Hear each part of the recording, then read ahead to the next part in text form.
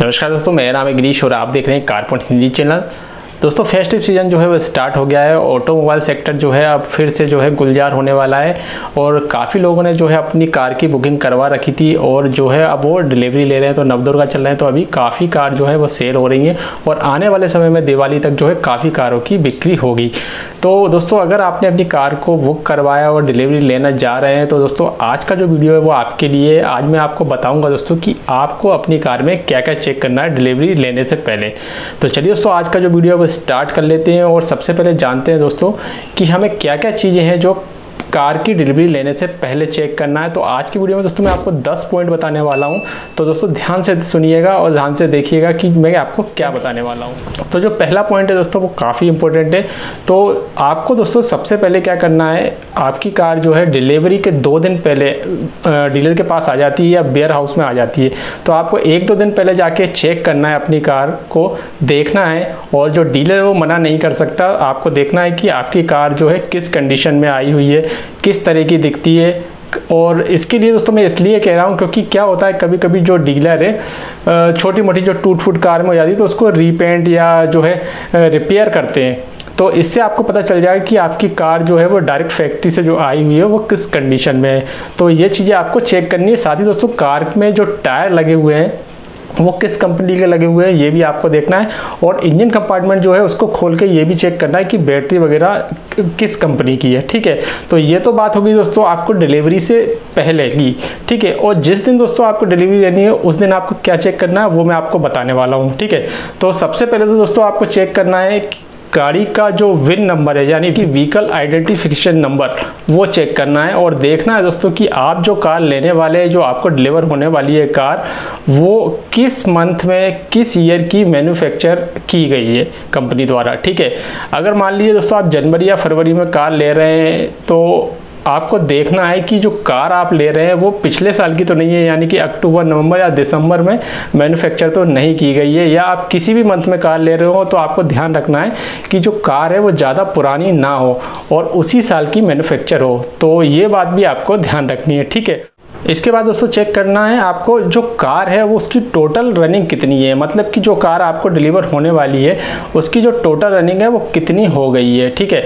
अगर आपकी कार 100 या 150 किलोमीटर या इससे ज़्यादा चली हुई हो तो आप इसको ना लें। आप बोलिए डीलर से कि हमें इतनी ज़्यादा चली हुई कार क्यों दे रहे हैं? आप, होता क्या है दोस्तों, जब कार वेयर हाउस में आती है या डीलर के पास आती है तो टेस्ट ड्राइव के लिए काफ़ी लोग आते हैं, ग्राहक आते हैं और टेस्ट ड्राइव व्हीकल अवेलेबल ना होने के कारण कभी कभी क्या करता है डीलर जो नई गाड़ी है यानी कि जो आपको डिलीवर होने वाली गाड़ी है, वही टेस्ट ड्राइव के लिए दे देता है। तो इसलिए आपको ये चेक करना है कि टोटल रनिंग जो है वो कितनी है आपकी कार की, ठीक है? तो इस बात का ध्यान रखें। इसके बाद दोस्तों, अगला जो पॉइंट है, उसकी बात कर लेते हैं। तो अगला जो चेक करने वाला पॉइंट है दोस्तों, वो ये है कि आपको चारों तरफ़ कार के घूम के देखना है कि कोई स्क्रेच वगैरह तो नहीं है और कहीं जो है डेंट वगैरह तो नहीं आया हुआ कार की बॉडी पे या कोई पेंट वर्क तो नहीं किया गया है।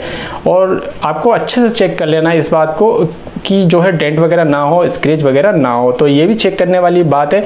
और जैसा कि मैंने बताया कि जब कार वेयर हाउस में आ जाती है तो आपको चेक करने जाना तो बैटरी और जो टायर जो आपने वहाँ पर चेक किए थे, वही जो टायर है, वो आप देख लीजिएगा। अच्छे से कि जो टायर जो थे, हमने जब वेयर हाउस में देखे थे, उसी कंपनी के लगे हुए हैं या नहीं, और जो बैटरी है, वो उसी कंपनी की है या नहीं। ठीक है? इसके बाद दोस्तों, आपको चेक करना स्पेयर व्हील और टूल किट आपको प्रॉपरली देख लेना कि जो हमको टूल दिए जा रहे हैं, वो पूरे हैं या नहीं, और जो हमको स्टेपनी दी गई है, यानी कि स्पेयर व्हील दिया गया है, वो भी बिल्कुल सही कंडीशन में है या नहीं।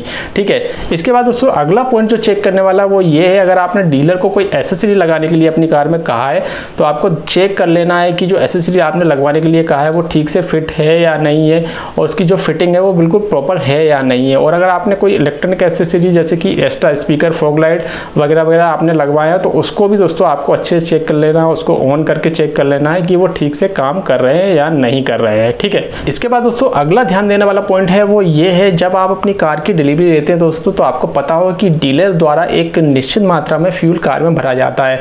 तो जो फ्यूल की मात्रा है दोस्तों, किसी कार में पाँच लीटर होती है या किसी कार में उससे ज़्यादा होती है उससे कम होती है।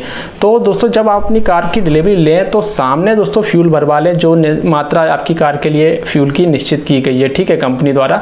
तो आप अपनी कार का जो फ्यूल है, वो सामने ही भरवाएँ। कभी कभी दोस्तों, क्या करते हैं डीलर थोड़ी सी बदमाशी ही देते हैं और होता क्या है, जो फ्यूल की मात्रा है, जैसे कि पाँच लीटर कार में फ्यूल भरना है तो वो चार लीटर ही फ्यूल भरते हैं या उससे कम भर देते हैं। तो ये चीज़ भी दोस्तों आपको अपनी आँखों के सामने चेक कर लेनी है, ठीक है? उसके बाद जो मेन चीज़ आपको चेक करने वाली है, वो है म्यूज़िक सिस्टम।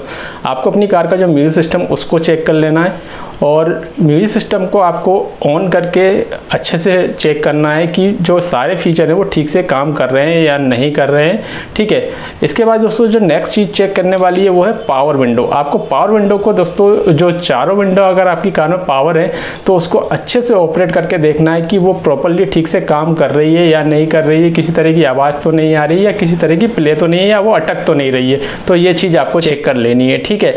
और भी दोस्तों बहुत सारे पॉइंट हैं जैसे कि इंजन कंपार्टमेंट में दोस्तों आपको चेक करना है, जो इंजन कंपार्टमेंट जैसे भी नट बोल्ट होते हैं उनको चेक करें कि उस पर कोई निशान तो नहीं है। एक्चुअली होता क्या है दोस्तों, जब हम किसी कार का इंजन या किसी भी बोल्ट वगैरह को खोलते हैं तो क्या होता है, जो नट बोल्ट होते हैं दोस्तों, उस पर जो टूल हैं, उसके निशान आ जाते हैं। तो आपको गौर से देख लेना है कि जो इंजन के नट बोल्ट वगैरह हैं, हालाँकि दोस्तों ऐसा बहुत ही कम होता है कि उन पर कोई निशान हो।